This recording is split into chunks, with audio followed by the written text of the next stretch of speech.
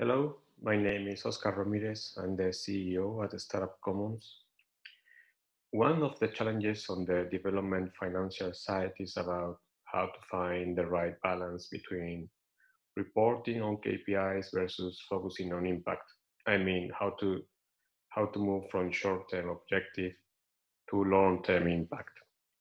So in this presentation, I would like to share uh, the main reasons why it's so hard to align short term and long term from donors' perspective to effectively support ecosystem development. And I would also like to, to share some strategies towards fixing that gap.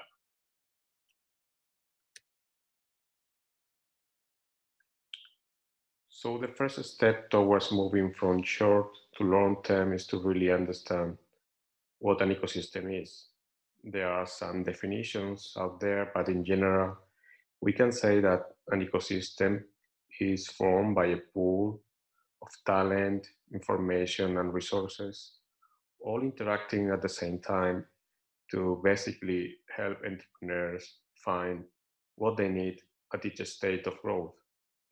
So it is truly an invisible infrastructure full of interactions, connections, and so forth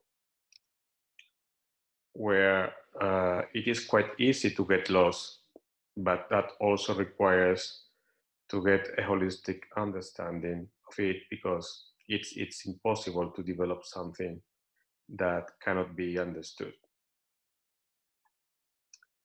And the fact is that ecosystems are like this. From a geographically perspective, we can have ecosystems at city, regional, or national level mainly led by government as the responsible bodies to develop the economy in a, specific territory. And then we have uh, business vertical ecosystems like fintech or food or health, mainly led by the big companies or corporates that are touching multiple ecosystems geographically that contains most of the people and organizations working in the other ecosystems and where you can still find the same information but duplicate it. So therefore, it's important to understand all these different performance levels and how they are related between them. And the reality, uh, based on real work with more than 30 ecosystems around the world, is that all ecosystems are not understanding these dynamics as most of the actors are driven by their own agenda and therefore are struggling with this ecosystem fragmentation and connectivity issues, making ecosystem actors uh, work in silos and not really enabling uh, real collaboration. And therefore being quite hard from them to get the big picture towards accelerating the growth of the ecosystem as a whole. And really facing problems at ecosystem level like how to maintain a holistic picture of the constantly developing and evolving ecosystem, how to measure the services and results of different development projects and policy actions, or how to collect, maintain, and share this data openly for the benefit of everyone uh, in the ecosystem.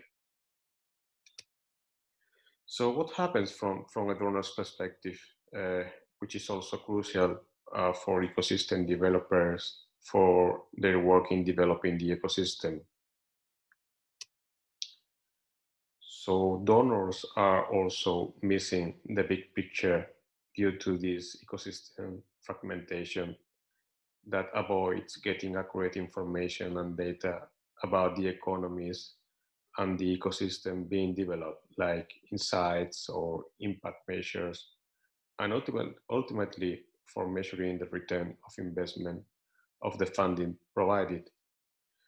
So then we would have something like this domino effect where a poor understanding of the ecosystem generates funding calls that don't fit the reality and therefore the impact is low or is not as big as expected. it is something similar to surveys where the quality of answers are dependent on the quality of the questions. And why is this such a challenge? So uh, from a Startup Commons perspective, we have identified five main challenges. So the first challenge is the lack of a common vision, objective, and a strategy. It can happen when the actors did not discuss the collaboration in detail and there's no shared things being worked on and therefore there is no real working together. The second challenge is that uh, no actors are looking at the ecosystem as a whole, trying to understand the different dynamics that make the ecosystem factory produce more volume of innovative companies. Then we also have information disconnectivity in terms of what is going on in regards to new companies and innovation in your key markets or who is who, what is relevant for your business, who are doing what and why, where and when are things happening, etc. Then we have uh, one of my favorite challenges. When we think of ecosystem concept by definition, it is not owned by anyone. It is not really considered being controlled by anyone. So therefore, when we look at the freedom and responsibility, they work hand in hand. So if there's no one responsibility uh, to own the ecosystem, then there's no one responsible to make it work. We can say that it must be a collective multi-stakeholder responsibility but as we know, it doesn't work like that in practice. And therefore, there should be someone that could take this responsibility to look after the overall interest, becoming permanent and surviving the different political cycles. And last but not least, we have, we have a sustainability challenge. Operating and, and developing an ecosystem is a really hard task full of complexities and uncertainties and traditional approaches like planning a project and budget, then acquiring initial funding to start and operate, setting up the operations, run the operations on fixed budget to ongoing costs, and then trying to find revenues or funding to achieve financial sustainability along the way based on unvalidated assumptions at time of planning and budgeting, it really doesn't work. So say this, what can we do? So how do donor resources fit in this reality with a target to make impact in the long term? The first step would be to allocate resources to create and set up this ecosystem operator entity,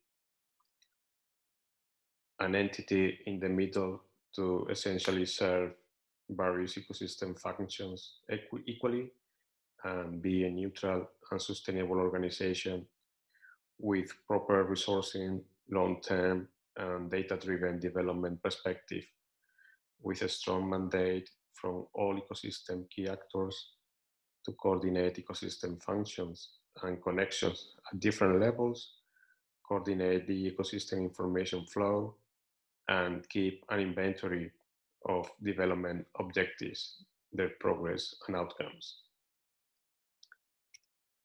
Then secondly, implementing an ecosystem framework to really bring a structure and understanding around the connections, relations, and impacts of various actions and policies, and also to communicate on what area a specific action is targeted to improve and to be able to understand the context and measure the impact of, of specific actions. this ecosystem framework should bring specific terminology that needs to be properly identified, standardized, and documented, starting with simple definitions like what is a startup, for example, or what is the startup journey, what are the different phases, and therefore start getting more holistic understanding around how an ecosystem behaves and ultimately start getting a sense about how things work in reality. Then, uh, from the perspective of measuring development, services, and activities impact, KPIs need to be identified and put in place. KPIs to measure startup progress, how startups are evolving through the different phases and the contributing factors that make them progress. Then we have KPIs related to ecosystem services, identifying and mapping the available ecosystem services and organizations, looking at how those services are being consumed, what is the service output, how they are performing, their efficiencies. And then we have KPIs related to ecosystem measurement. To really measure uh, the outcome of ecosystem development actions and identifying cross-cutting topics and dependencies between development actions, impact measure, data, KPIs, and terminology. So therefore, attaching KPIs to a framework. So correlations, dependencies, and connections can be understood and ultimately understand what lower level KPIs contribute to higher level KPIs and what KPIs also indicate outcomes in some peer KPIs. And finally, I would also allocate resources on digital transformation. Because to be able to understand the impact of ecosystem development actions, a lot of good aggregated data is needed to be collected from primary sources. And this hard work simply cannot can't be done manually.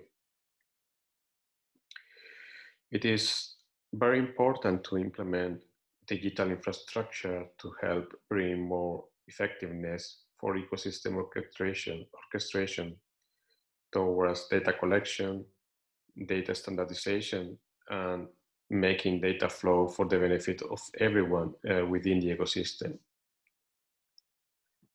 But also built in a way that also makes possible this connectivity between ecosystem and having a digital architecture like this, enabling the ability of diverse systems, organizations, and cities to work together to plug together ecosystem components and eventually enabling real collaborations and building connected ecosystems. In short, we are proposing that the best way to align short-term objectives with long-term impact is to invest in infrastructure, establishing ecosystem operator function to local ecosystems with proper resourcing and sustainable business model for long-term and data-driven development to drive digital transformation and to serve and connect various ecosystem functions equally from a neutral perspective. And because most ecosystems are having common challenges to really make it under open source software and Creative Commons core principles for sharing knowledge, education, best practices, software, and data to essentially reduce duplicated work and facilitate collaborative efforts towards business creation and ecosystem development, and eventually accelerate global development. So this is what we are doing with OS for Growth initiative, an open non-profit multi-stakeholder initiative uh, to help establish and develop open global standards for innovation and entrepreneurship ecosystem development. An initiative that is uh, basically driven by these five principles. Only things that can be understood can be developed. Only things that can be measured can be improved. Only by sharing things and making them visible, available, and known about can those become commons or same things will be repeatedly reinvented and duplicated over time. If there are no shared things being worked on, there is no real working together and limited resources are dispersed. And only things that are in shared use can be benchmarked, scaled, and developed together. So that is all. Thank you so much for your attention.